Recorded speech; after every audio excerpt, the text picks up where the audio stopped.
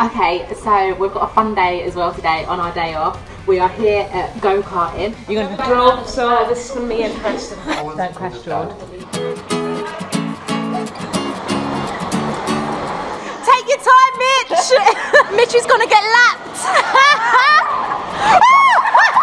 I felt good until everyone bumped into me, so I ended up last. It's fatigue sitting in, there. I'm not tired, but it's just, you know, all the people around are just careless and they're driving. My seat was broke, so I was sliding back and forth. Let's do this.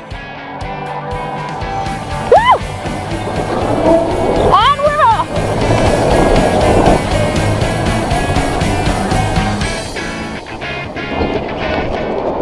Ah!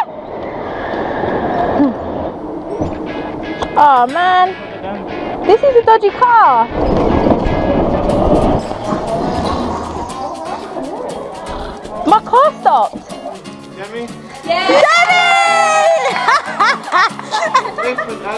Ah. Oh, speech, speech, Jordan.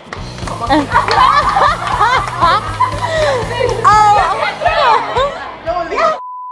Jordan, what you got cooking? Um, just a few sweet potatoes. It's my sous chef right there. She just chops up the stuff I don't want to Yeah, yeah. Have you got enough for me? I'm playing with you. Today is actually match day. We play London Bees in the Conti Cup. Um, so today is about resting, making sure we eat properly. Um, I can't really eat big before a game, so I tend to have a bigger lunch. So that's what I'm cooking right now. And voila, here is my pre-match slash lunch.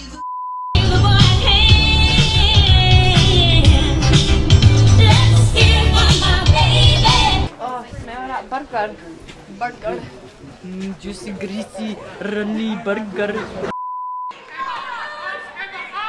This one the pick of the bunch from captain Alex Scott. She only had the armband because Kelly Smith was in the dugout with caretaker boss John Bayer away on scouting duty. It's a shame he missed that strike. And Scott was at it again before the final whistle with another fine finish at the end of a sweeping Arsenal move. Another game to forget for the Bees while the Gunners' resurgence continues apace. With one group game to come, thanks to this thumping victory, they're now top on goal difference. 7 0 the final score. because we've had a busy schedule with football, um, I've not had time to go see my niece or really see my family because we've had quite a few games. Um, so my niece actually rung me and said that she wanted to do a girly day with me. And what would you like to do in your girly day? Makeup? What kind of makeup do you want? Like Alex.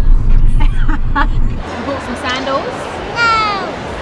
You got your nails done. It's got all sugar on it. She's stuffing her face right now. So on this episode of Scottie Cam, I just kind of brought you what we do in our spare time away from the football field. And I hope you've all enjoyed this episode and see you guys next time.